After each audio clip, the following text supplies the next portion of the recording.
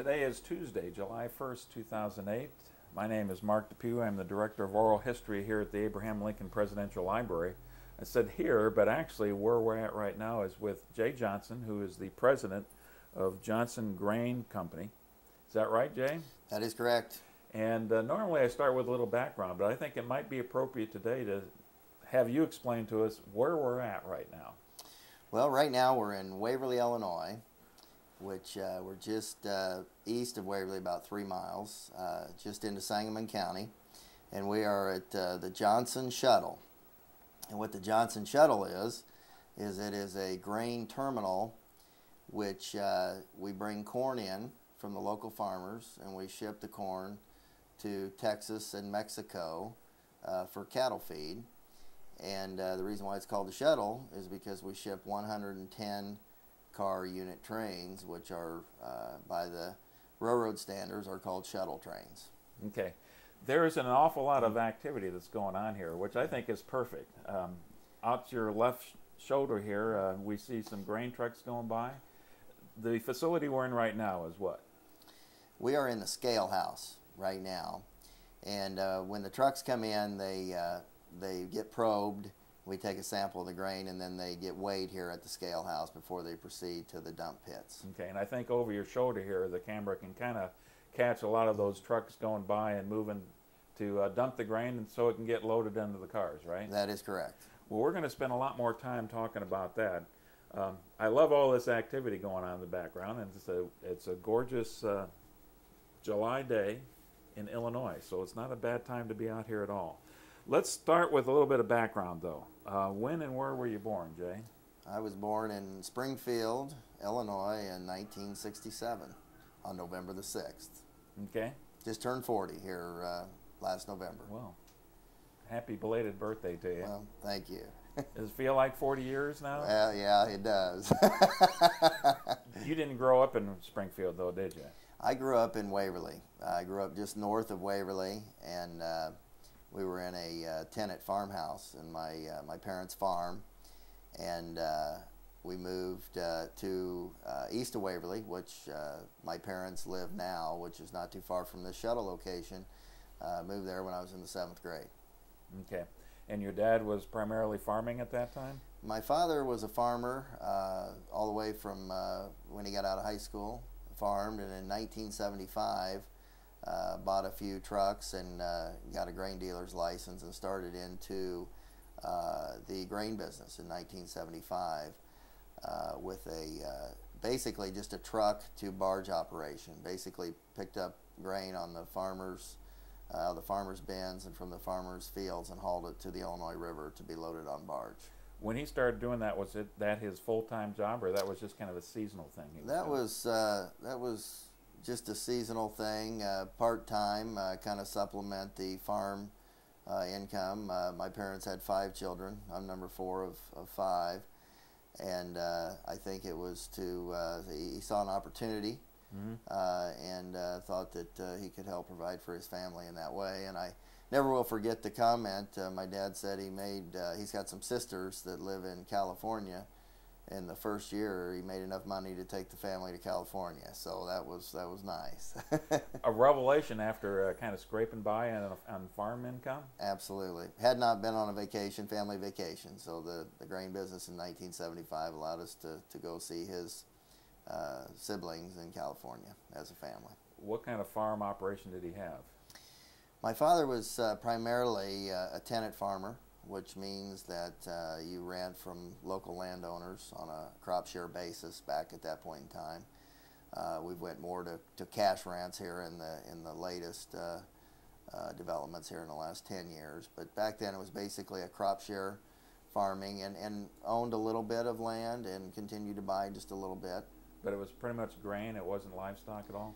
Uh, livestock was included back then in the in the 70s. It seemed like you you had to have some livestock, and uh, so we had uh, cattle, um, and um, uh, don't think I was I was young at the time. Born in '67. I remember feeding the cattle and watering the cattle, but I don't think we had any other livestock. If it was, it was before I was I was born. I was going to say I suspected that you had quite a few chores you had to do. I did.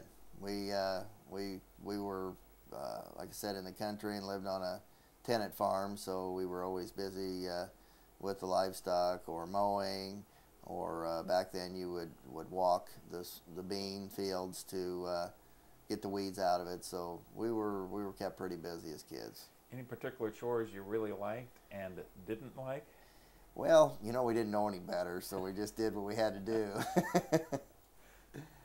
Nothing uh, nasty in working with the cattle though that really didn't take a liking to. well, there was uh, there was one thing that when my dad did start in the grain business in 1975, I would go around with the truck drivers and help clean out the grain bins. It always seemed like summertime when we were out of school that that's when the farmers were getting to the bottom of their bins, silos to clean out prior to uh, harvest time.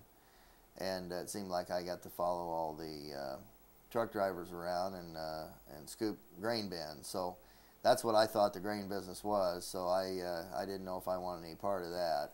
But uh, I since learned that that was just the education I needed Yeah. to get going. Yeah, just the inspiration. How about your mother? What's your mother's maiden name? Tranquilly. Uh, Judith Ann Tranquilly. was born in 1942 and uh, obviously has an Italian uh, lineage. Okay. Um, did she uh, have another job, or is she pretty much busy keeping five kids in tow? Well, I believe my mother worked for a telephone company um, before I was born. And like I said, I was number four of five, so I think at that point in time she had a full time job uh, providing for the kids and and uh, keeping the uh, keeping my father uh, uh, supplied with what he needed for his farming operation and grain business. You went to school here in Waverly then? Went to Waverly High School, grade school, high school. Uh, graduated from Waverly High School in 1986. Uh, proceeded on to Illinois State University in uh, Bloomington Normal and uh, got a four-year degree there in uh, finance and uh, graduated in 1990. Okay. Uh, you're moving along here pretty quick, Jay. That's Okay. okay. Um, as a high school kid, what do you think you wanted to do with your life, other than not shovel grain, maybe? Well, I didn't want anything to do with the grain business because I, I had grown up around it, and I thought that you know I would be scooping bins, uh, and that would be all I would be doing. Not, not that there's anything wrong with that. I could actually use some exercise now. I don't get enough of it, but uh, um, I thought that's what the grain business was, and I never did really get to into the uh, the exciting and intriguing part that I that I enjoy so much today. So, what did you think you wanted to do? Well, I wanted to go to college and uh, get a degree and see what developed. And uh, as I went to college, I, I really took a liking to finance. I've always been uh, uh, enjoyed working with numbers, and uh, so I, as I got uh, towards my junior senior year, I started looking at the different uh, possibilities, and I ended up in banking. So Okay. that I'm not sure that I, I had anything that I really wanted to do. Um, but I knew that I, I need to get an education, and at that point in time, uh, hopefully th- something would come to me, and it did. And that was banking. That was banking, yes. Why banking then? I think just my love for numbers and the financial part, and uh, not real sure exactly. I had some different uh, opportunities uh, coming out of college, uh, but I chose to go to work for uh, First Chicago, which uh, was downtown Chicago. Thought it would be neat to experience the city and uh, see what it was like there. Was it? it was neat. It was neat. I spent a year and a half there, and that was long enough for a country boy. Um, coming from a small town and uh, working in an operation with 16,000 employees and living downtown in downtown Chicago, it's a great place to visit for a for a small town boy. But uh, I don't think that uh, I could have stayed there much longer. You were a bachelor at the time, I was. And I had was. an apartment downtown. I had an apartment downtown. Boy, you went from you can't get much more rural than Waverly, Illinois, and then you can't get more, more urban than downtown Chicago. That's right. Well, I wanted to experience that, and I did. And and uh, at the time, my my wife, uh, Kelly, uh, we were dating. She was a senior at Illinois State. So when I was in Chicago, so I was uh, I was in Chicago, and, and she was back at, at the college, and That would suggest you put a lot of miles on the road. I did. I, I did not have a car because I lived downtown, and I remember the parking garages were, were either full or the charges were, were astronomical. Uh, so I did a lot of uh, commuting by train or, or traveling weekends by train, uh, Amtrak to Bloomington. Um, what was it about living in downtown Chicago that uh, you liked and what you didn't like about it? Well, that's an interesting question. Um, what did I like? Um, I liked the experience of seeing what city life is like. Um, I like the experience of working in a for a large corporation. Um, I think it has made me appreciate the small business uh, of the of the world. Um, not only ours, but for those that get an opportunity to work for small businesses, it seems like you're uh, you're noticed a lot quicker in a small business. When you're in a large corporation, it takes you a long time to climb the ladder Mm-hmm. and to uh, get to where you can make some decisions that you feel like you're probably capable of making long before you get to that point. So it sounds like you think that the Chicago experience and working in banking and in finance and that background was the ideal thing to lead you where you're at today then. I would say that it was a very good experience. I'm not saying it was ideal. I don't know what, what ideal would be, but Mhm. I do know that uh, living in the city for as long as I did made me appreciate the country. Uh, working for a large corporation uh, for a short time there, a year and a half, made me realize that small business was, was my preference. And then uh, being away from family for a year and a half and and realizing how important family values are and and uh, being close to your to your parents and your siblings uh, brought me back here to, to Johnson Grain. Now I know your dad. You said he got into shipping grain over to the the uh, river about 1975. Was that That's right? correct, yes. What happened between 75 and up to the time you were up in Chicago in the banking business for him? My father continued to uh, ship corn and, and soybeans uh, on truck to uh, the river. And the business was growing, uh, from what I remember, the business was doing very well in the late 70s and early 80s. Uh, in the late 80s, there was uh, a lot of increased competition uh, doing the same thing that he was doing. My father um, was one of the first, if not the first, to start picking up grain uh, directly on the farm. Prior to him getting in business, uh, the farmers would take out their straight trucks and their tandems and haul their corn to the local elevator. Uh, my father bought some trucks and would actually provide that on-farm service, uh, which was uh, a new concept and, and kind of a, of a, pioneer in that uh, development. Then, as time progressed, others competition started doing the same thing, and then it got very, very difficult to uh, to uh, continue the growth uh, with the same type of uh, market plan. Well, we're seeing a lot of 18 wheelers coming by here. Is that the kind of truck that he was working with at the time? No, no. it Started with a tandem truck, which is a smaller truck. Uh, it's not an 18 wheeler. Um, the I guess there'd be uh, uh,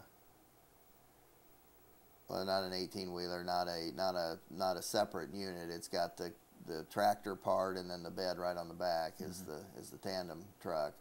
But there were some 18 wheelers on the road then hauling grain. Just uh, they were hauling from the local elevator, and it was not, and they were not going on the farm to pick up grain direct from the grain bin. So, So it was, was a new it concept. was it these trucks going out into the fields directly that was new, or was it the fact that he was taking his truck out in the field and then going right to the terminal to load the grain at the the terminal on the river?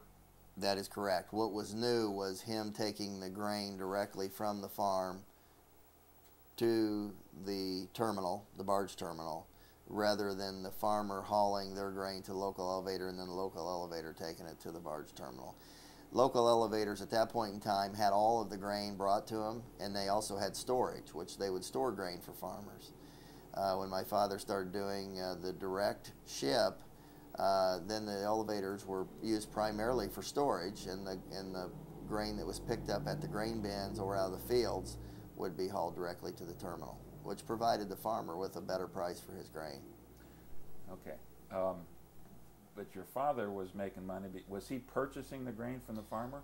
Yes, he was. He had a grain dealer's license, and he was purchasing the grain from the farmer, uh, getting a price from the grain terminals at the Illinois River, uh, taking the trucking, uh, the the cost of trucking off of that barge terminal bid plus a margin, then would pass what was left to the farmer, which was more than what they could get at the local elevators at the time.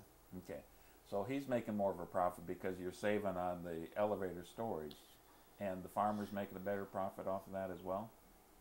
The farmer was definitely getting a better price, and my father was taking a small margin to to pay the the overhead and, and a little bit of profit margin. Okay.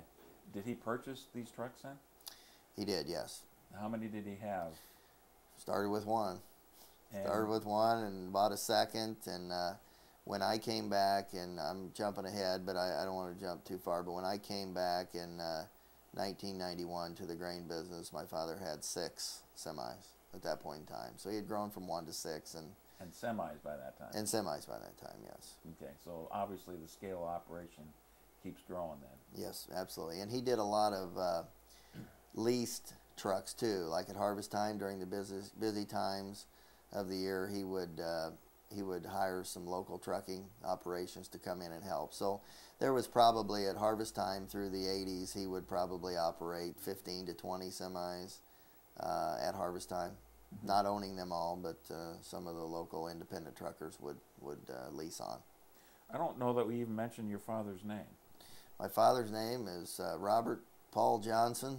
He was born in 1942 as well. Uh, does he go by Bob or Robert? Uh, Bob. Okay. Um, as he got more and more into the grain shipping business, is that what we should call it, grain shipping? Yes, yes, Did he get less and less involved with the farm then, a tenant farm? yes. Um, I would say he continued to do both, but brought in uh, uh, some help to help with the farming operation. So he was overseeing the farm and the grain business as it continued to grow, and uh, was not able to do all of the work uh, that he did before he had the grain business. So it was more of a management of both businesses rather than uh, directly involved in both Yeah. of them. And obviously, increasingly over time, he's hiring other people to help drive the trucks and manage the business with him. That's correct.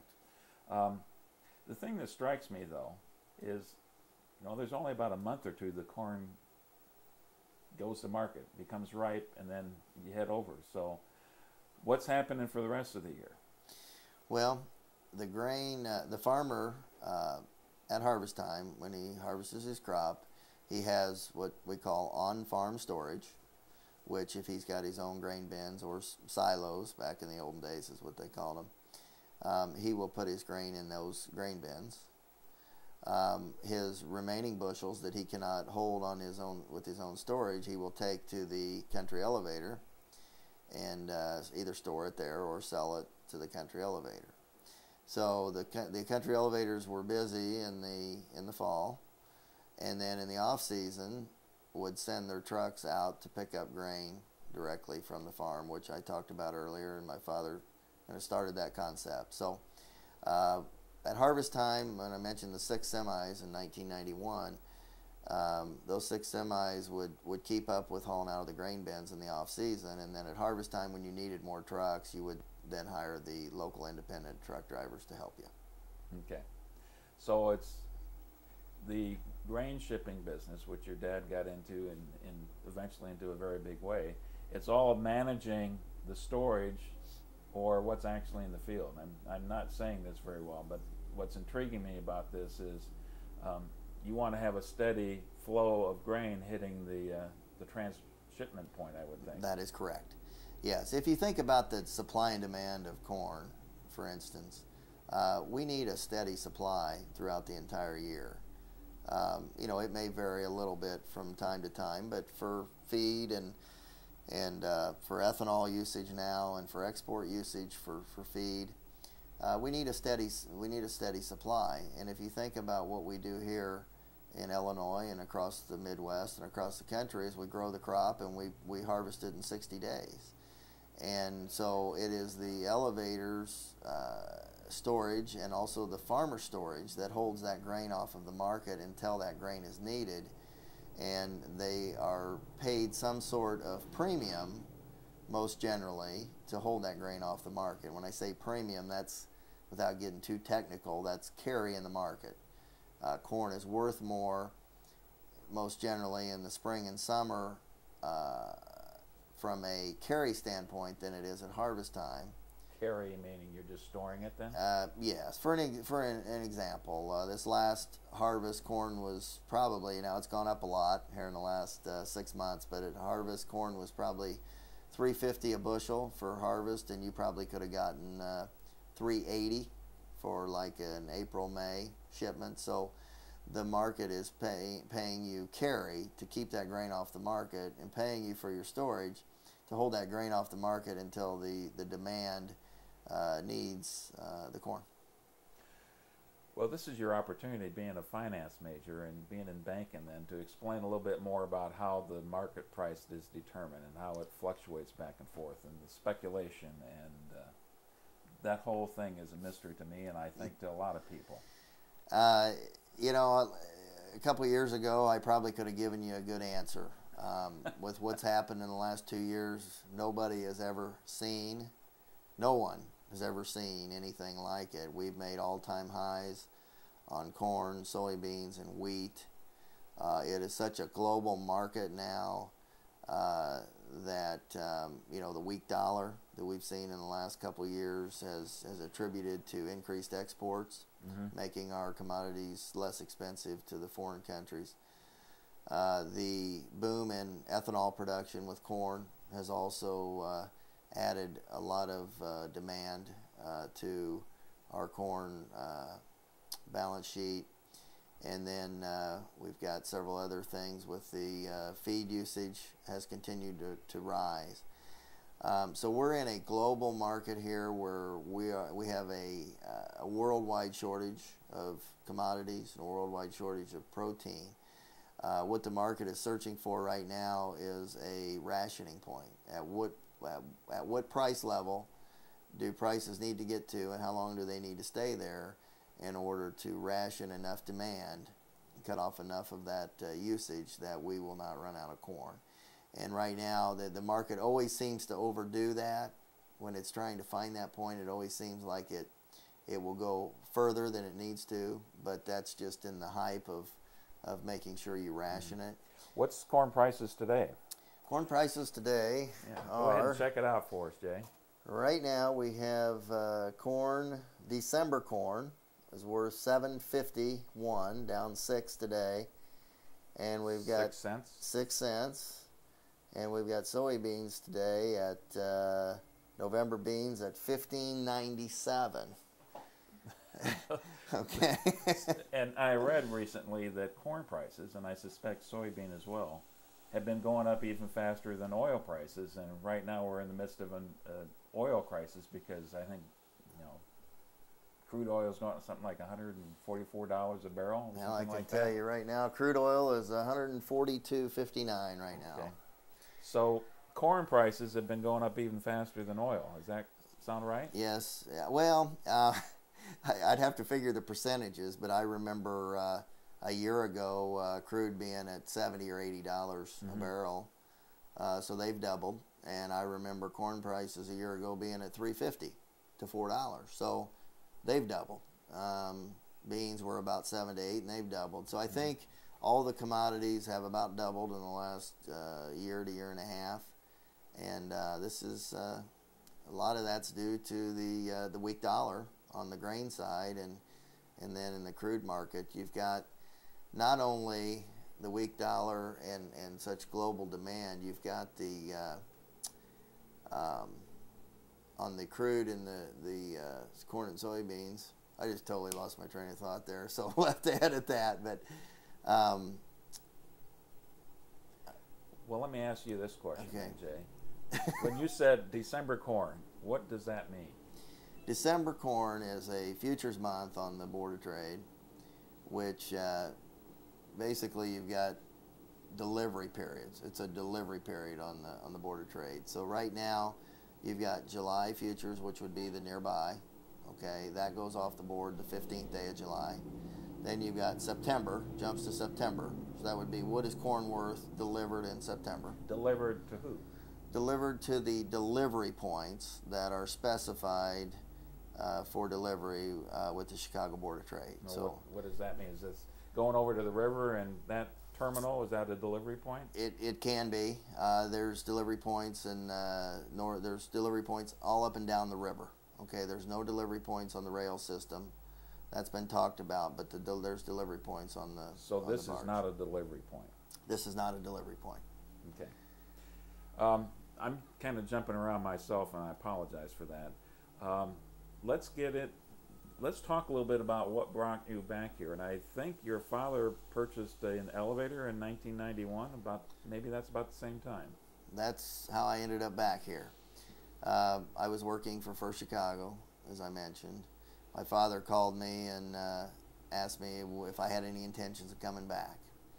And at that point in time, I was starting to realize some of the benefits of coming back to, to Waverly and coming back to the grain business and coming back closer to my family. And he had mentioned there was an elevator for sale in, in Palmyra. Um, it's called the P&M elevator. P stands for Palmyra, M stands for Modesto. And that if uh, I had any interest in coming back, he thought that that ought to be purchased. So uh, I made a decision in uh, in the summer of 1991 to uh, to come back uh, to the uh, the family operation, and uh, we purchased the uh, Palmyra elevator at that point in time. What was his rationale for going into the elevator business as well? I mentioned earlier that in the 80s, a lot of the uh, competition uh, began to do the same thing, going out and picking up grain on the farm. Uh, as the technology and the farmers began to get faster, uh, more pro- more uh, uh, intensive with their farming operations, uh, there was a need to have storage closer than the river. Because if you think about a farmer in 1975, when my father s- started uh, shelling a load of corn in three hours, two, three hours, and having one truck pick up that load of corn and take it to the river and then come back and be able to be there for that farmer when he had his next load of all of his wagons full. Okay. In 1985, the farmer was probably shelling a load in, in an hour. So enable, it took so many more trucks to get to the river and get it dumped and 10 years later okay?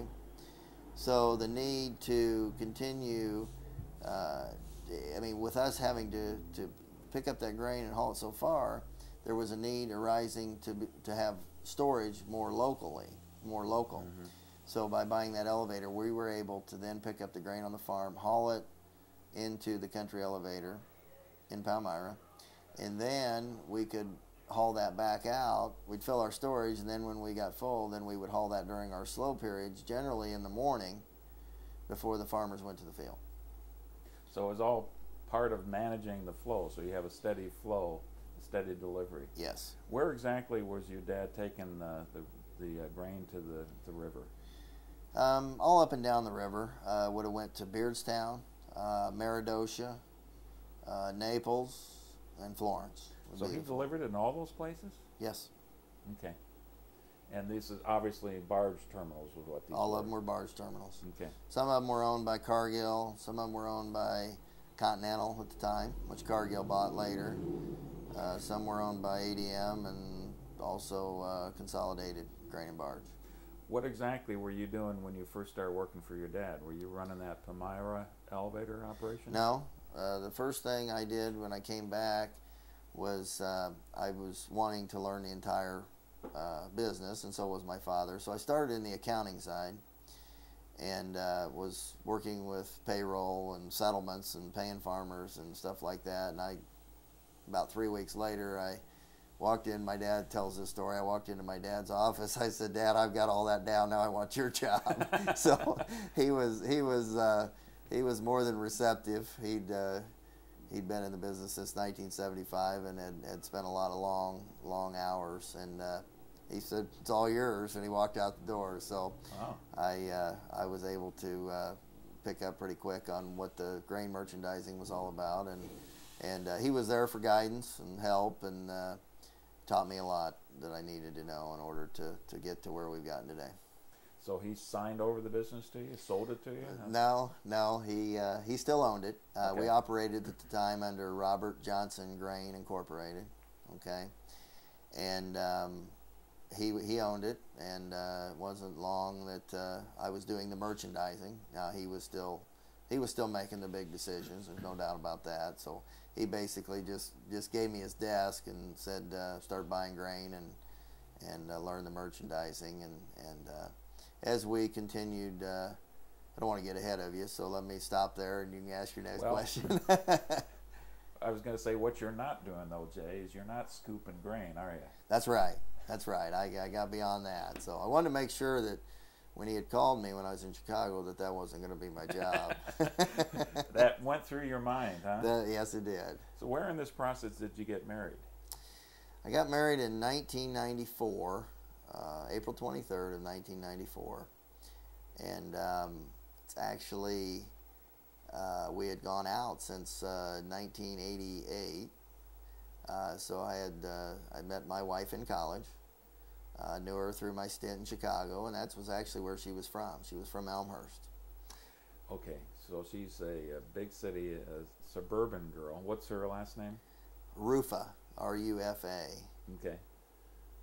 The more ethnic mixture here. Yeah, that's there? right. I think there's a little German there. Okay.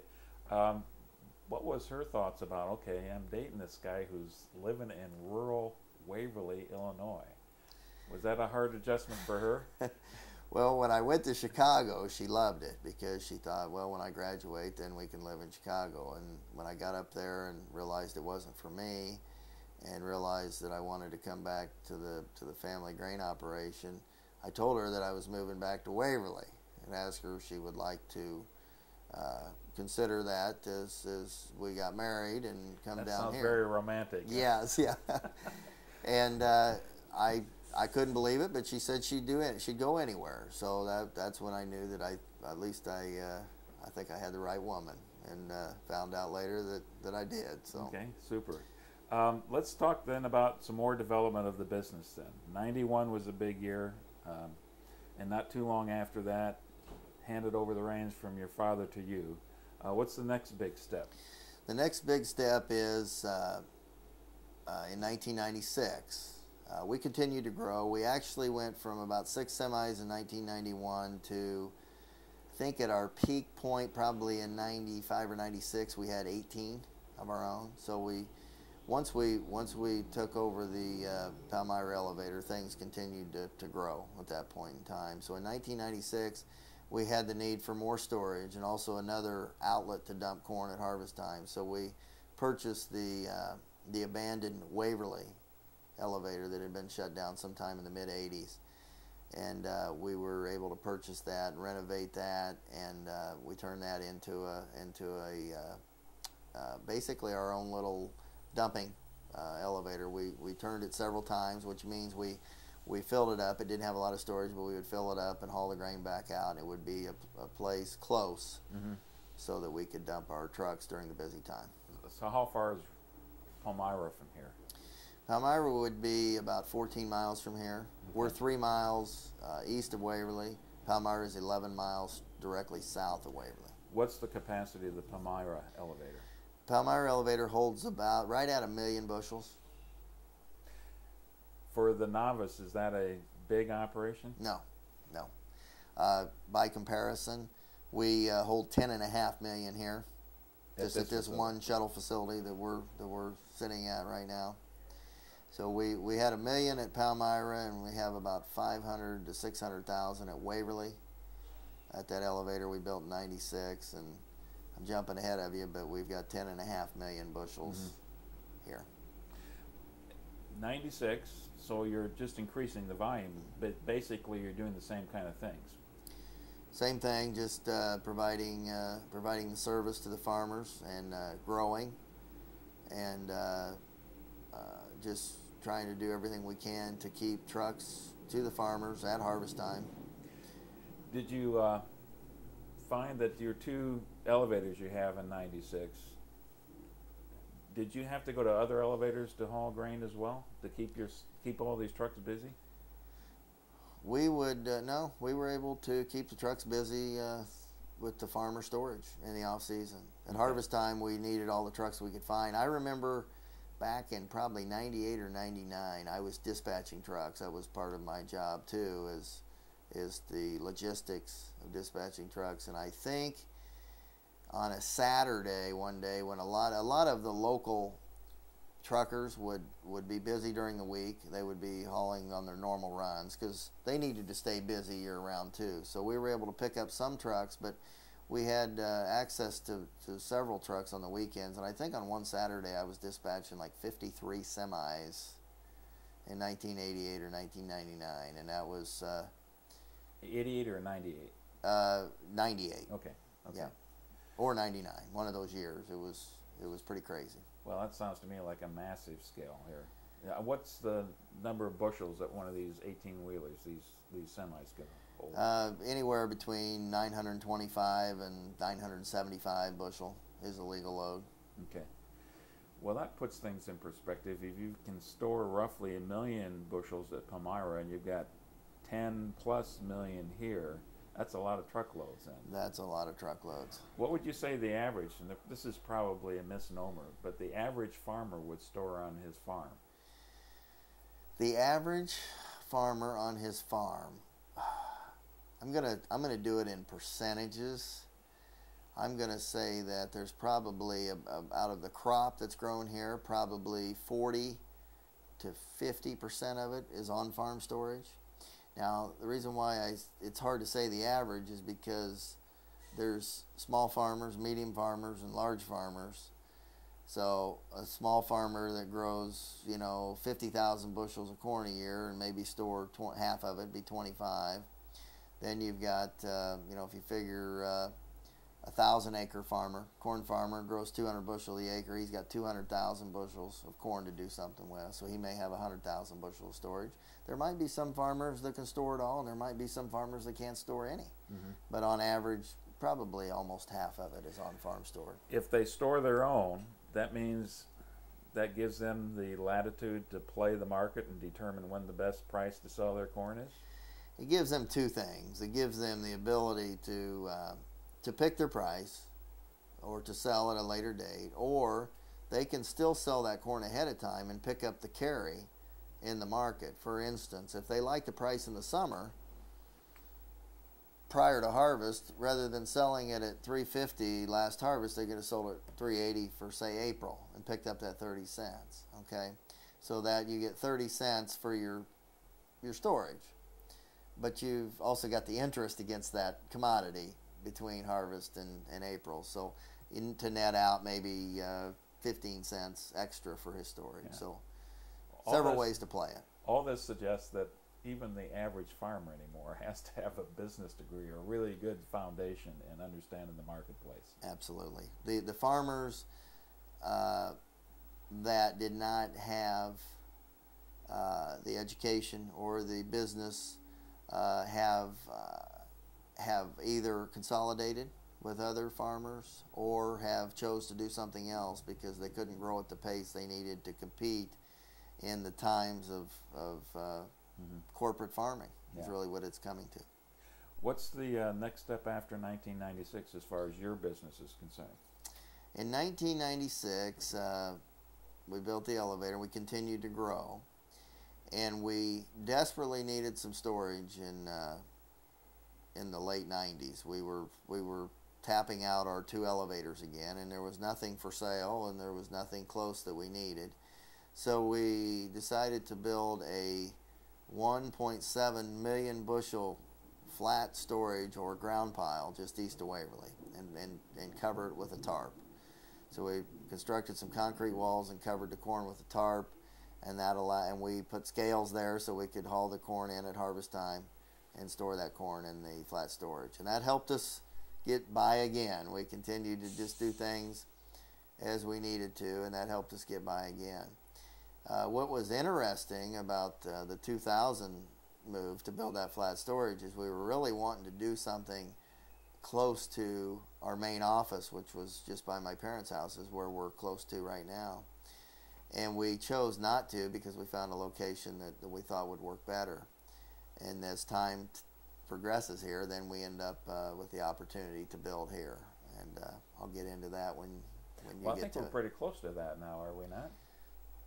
Well, let me let me proceed then. We uh, after we built that flat storage in 2000, in 2003, the railroad, the Burlington Northern Santa Fe Railroad, which runs right by my parents' house and right by our main office, and we own property right alongside, adjacent to the railroad.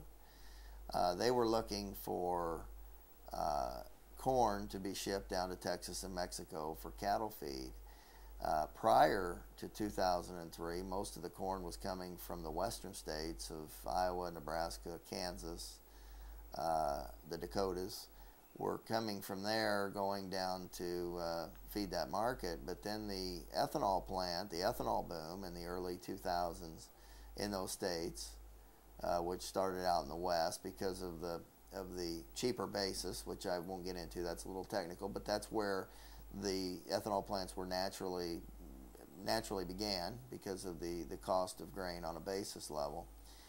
Um, were taking most of the corn, so uh, we were able to then, when the Burlington Northern said we need to go further east to get our corn to satisfy this feed market, we were we were in a uh, in a in a good spot to then build a facility close to our main office, which we needed, and we also had property adjacent to the Burlington Northern Santa Fe Railroad, so it was a perfect fit to do that uh, in 2003. The railroad came to you, or you went to them? Well, I went to them because we were not uh, we were not on the railroad. We did not have a uh, country elevator on a rail. So basically, the Burlington Northern looked at their maps and said, "Okay, here's a grain elevator on the on the rail line. Here's another one." So they went to visit all those, and I was able to pick pick up the conversation that that's what they were looking for. And I contacted them and told them that we didn't have a facility on the railroad, but we would sure build one if they wanted to uh, to build one here. And the reason why it was such a uh, great opportunity to do so is that the Burlington Northern was so eager to have facilities built in Illinois that they were providing some economic development incentive money to uh, people to do that. However, they didn't want to put economic development money into just anywhere, any place. You had to fit the right uh, credentials. Uh, you had to show, prove to them how you could provide the most grain at the least amount of cost. Mm-hmm. And uh, they selected five Illinois facilities that uh, um, submitted proposals. And they selected, uh, we were the only uh, Central Illinois shuttle loader selected uh, here. Um, we were the furthest south, southern shuttle loader in Illinois. The others would have been the first one built in Ransom, Illinois, which is which up north, close to Kankakee. Then you've got uh, the second one would have been uh, Mendota, which is right on Interstate 39 north of Bloomington, between Bloomington and Rockford.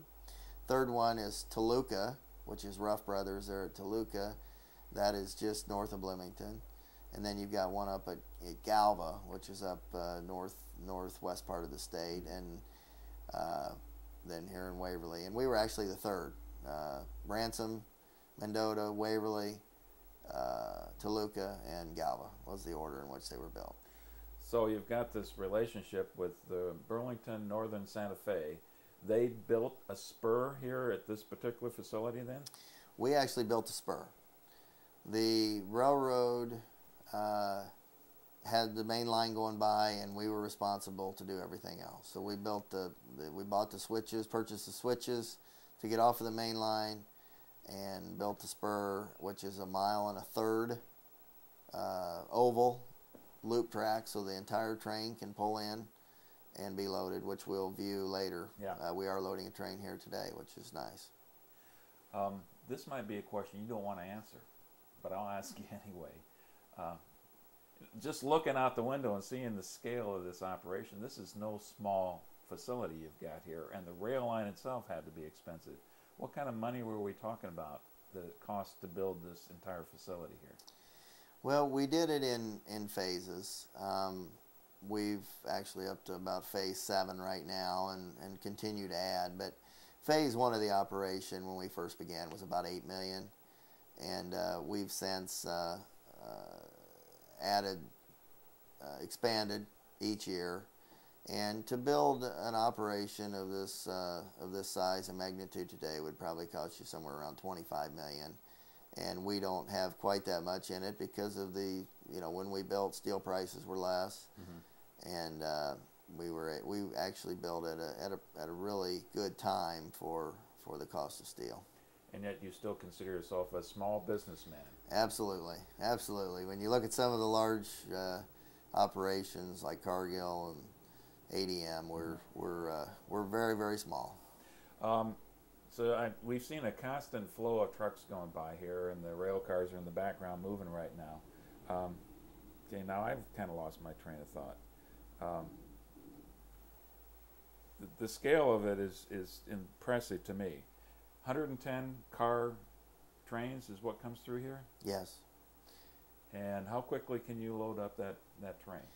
Well, it's it's 110 cars. Each car holds 4,000 bushels of corn, so that's about about five, four and a half to five semi loads, 18 wheelers to fill one car, and there's 110 of those. So there's 440,000 bushels on a train load, which is about 500 semi loads. So as you see the trucks coming in and out today, we'll probably dump about 200 semis today, and it takes about 500 to fill a train. So we'll dump the, the corn that comes in from the trucks and also pull the, the balance of what we need to fill the train out of our storage. So the capacity in one train load is what again? 440,000 bushels. And how often do you um, load a train? We load a train uh, depending on the time of year. At harvest time, we load more, but I'm going to say we average about one and a half a week. And this year, we'll load about 80 trains this year. What happens to the trains after they depart from here?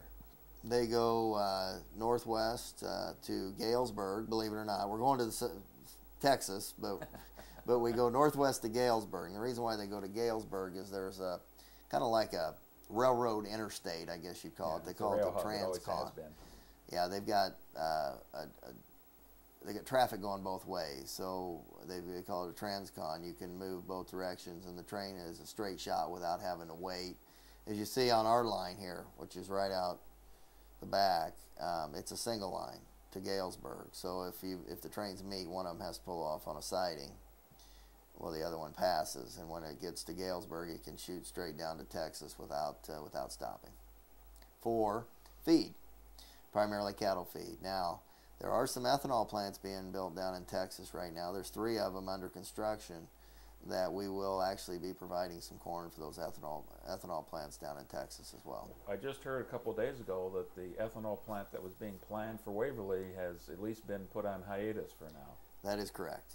The the market environment is such that if you haven't begun to build a uh, ethanol plant, you don't want to start with corn at almost eight dollars a bushel.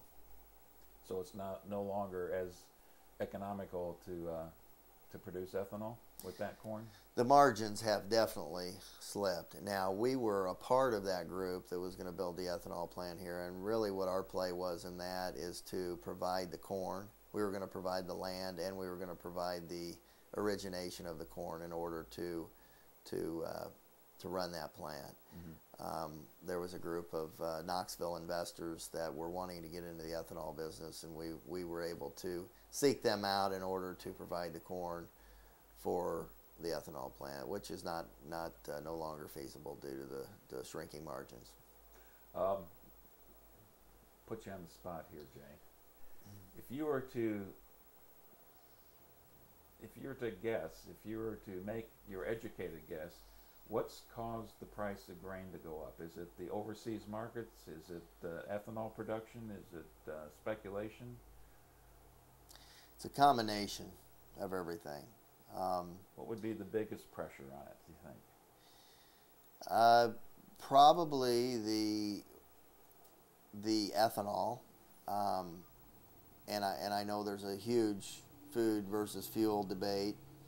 Um, at the time when ethanol was being made with corn, um, the our exports weren't as large because the dollar was not near as weak.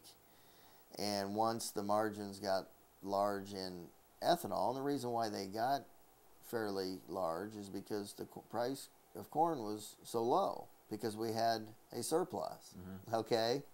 Just like in anything, when something's good, it always gets overbuilt. And nobody's going to get into anything that's got good margins in it very long because everybody's going to enter that market. So what happened was we had a bunch of ethanol plants that were announced and going to be built because the margins were good. And at the same time, the uh, dollar continued to get weak and the speculators came in, and I say the large index funds, and have totally ran this market up. Now, have they taken it too far? Only time will tell. Because we don't know really where that price is that rations enough demand to keep the balance sheet at tolerable levels. Mm-hmm. Okay? I think I heard you say, and this intrigues me, that even though ethanol production has increased dramatically in the United States over the last 10 years, let's say, and that means a lot more grain is being diverted to make ethanol than before. You're still sending more overseas than you have before? Yes, um, we're not, but the, the country as a whole yeah. is, is still increasing exports, yes. And where are those exports going? Mainly Asia, big markets, uh, Japan, China, uh, some to, to Africa, uh, a little bit to Europe, but primarily to the to the huge populations in, in China and Japan. And they're obviously using that for uh, um, livestock feed. The majority of it, uh, I think they've got some use some of it for some food ingredients, but the majority of it would be for for protein for and uh, feed for cattle and mm-hmm. and uh, whatever other livestock that uh, they need for their protein. Let's talk about some of the other ways that you've diversified. If you could spend just a couple minutes of other different kinds of businesses that you've gotten into as well, or offshoots of this main business. In 2000, I mentioned the need for uh, some more storage, and we built that ground pile. And it looked like at that point in time that it's kind of interesting how all this develops. It looked like at that point in time that we were going to need to make some huge expenditures um, real soon. And I was concerned of being able to, with the margins we were able to get and the profits we were able to, to make in the late 90s and around 2000, was not significant enough to be able to expand at the pace that we need to expand. Uh, so I was fearful that the that the future on the grain business for me uh, wasn't that bright at that point in time. Even though we were growing, our margins were shrinking and we had uh, uh, a lot of outside competition. So at that point in time, I, I diversified into, I started up an, an asset business, uh, a hedge fund business, which I had had some experience uh, in, in college. I was on the uh, educational investment fund team which uh, was a, was a chosen team in in college where I got a lot of knowledge and through working with markets for for 10 years I was uh, able to learn quite a little bit about hedging strategies. So I started an investment fund in 2000 and uh, then in uh, 2001 uh, I started an insurance agency which was primarily selling crop insurance to the farmers. Mm-hmm. I tried to find businesses that I could uh, provide uh, better service to the clientele that we already had. Um, I also, through this entire time, sold Pioneer seed corn from 1993 to 2004, which I had to give up in 04 when we started this shuttle operation. So uh, there's been several things that uh, that I've done to diversify and uh, and uh, has allowed this this shuttle to happen because I was able to, to make some some uh, capital in those other businesses to help uh, help build this shuttle for our community and for our area farmers. But the margin that you were concerned about a few years ago has improved a little bit for you lately. Yes, it has, and it needs to because of the amount of uh, investment mm-hmm. that we've got here.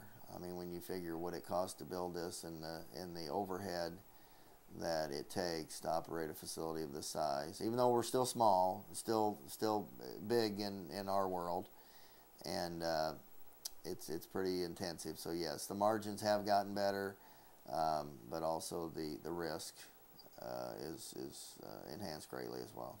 Well, let's finish off with this. We've got a lot to talk about when we go out and actually look at the facility, and that's that's going to be a lot of fun for me just to kind of walk around and you know be overwhelmed by the scale of things. But you've hinted around at this a little bit. What's the future of the family farm? You've kind of talked about your progression in your family. What's the future of the average family farm? Well, I would say that uh, you either need to grow or or get out is really what it's come to, and that's unfortunate. Uh, but it's the way of the world. In every business, uh, uh, progress is, is inevitable. Progress is good. Progress can be bad, um, but it's got more benefits than than. Uh, and we hate to see the family farm uh, suffer, but in this day and age, you really need to farm a lot of acres in order to to uh, to make it work. margins on on per acre are on average less than they used to be. Now this year is an exception because of the high price of grain, but that won't last either. Yeah. That will come back down as well. Okay. Um, thank you, Jay. We'll pick this up this afternoon and have fun okay. with it. Thank you. You know, I went through that whole thing. I didn't mention my kids.